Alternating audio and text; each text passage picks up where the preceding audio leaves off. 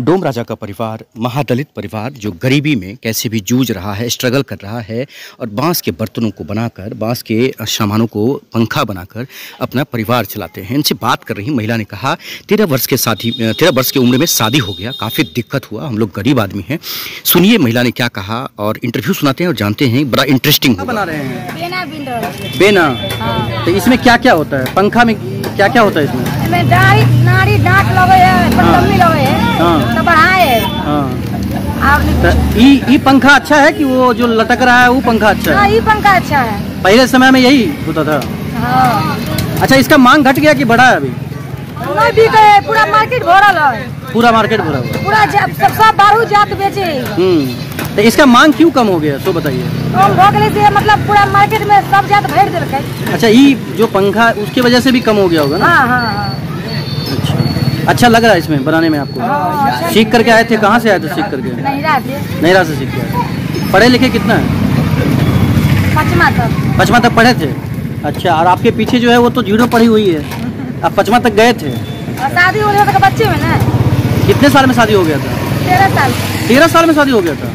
और जो बच्चा पहला हुआ था वो कितने साल में हुआ था? तब वो दुरागमन हो भेले नहीं पहला जो बच्चा हुआ था उस समय में कितने साल में हुआ था बच्चा? पंद्रह साल। पंद्रह साल में हो गया था। तो परेशानी भी होता है जैसे घर में या फिर जैसे हाँ हाँ। परेशानी होता है हाँ बहुत आज तो लगभग कितने साल के हो गए? पच्चीस तीस साल के हो गए होंगे आप। हाँ हाँ हाँ। पच्चीस सताईस अट्ठाईस। सत्ताईस अट्ठाईस साल। तो परिवार में कभी दिक्कत भी हुआ खाने पीने का ऐसा नहीं नहीं। कितने बच्चे हैं आपको?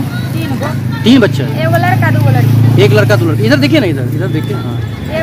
इधर देख के बात कीजिए हाँ। एगो लड़का दूगो लड़की। दो लड़की। हाँ।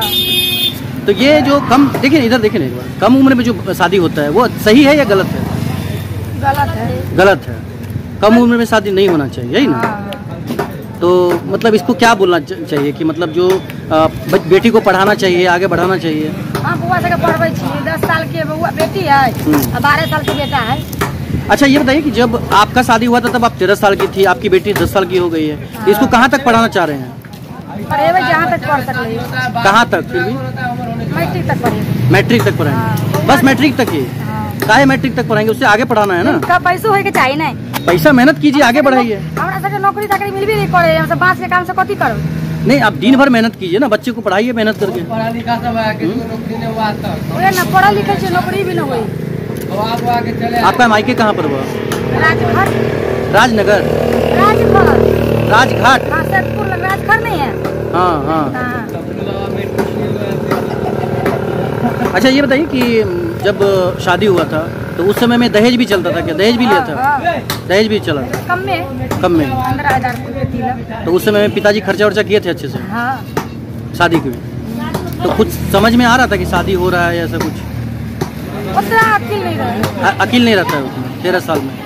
अब दुरागमन दू साल के बाद पंद्रह साल से बसे पहले दुरागमन नहीं हाँ हाँ। शादी तेरह साल भेलै दुरागमन भेलै पंद्रह साल। हाँ।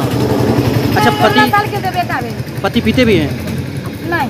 पीते होते नहीं? नहीं। उस समय भी नहीं पीते?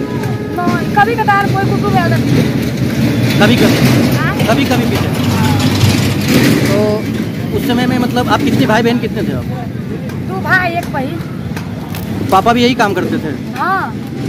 कैसे भी गरीबी में मतलब जल्दी जल्दी शादी करके हटा हाँ देते हैं पापा भाई के तबीयत खराब रहे। हाँ बीमारी रही तो बीमारी चलते हमारे शादी बच्चा में पड़ तो जिस घर में शादी हुआ मज़बूत है कि नहीं वो लोग मतलब?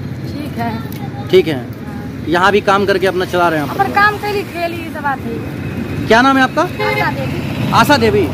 अच्छा लोगों को बोलेंगे कि नहीं कि कम उम्र में शादी नहीं करना चाहिए लड़की को? हाँ। हाँ? क्या बोलेंगे? लोगों को इसमें बोलिए ना इसमें इसमें देखिए इसमें बोलिए। हाँ कम उम्र में शादी नहीं करते। कम कम उम्र में शादी नहीं करना चाहिए। मजबूरी रहे पप्पा के तो शादी ठीक। नाम क्या बताए आशा देवी।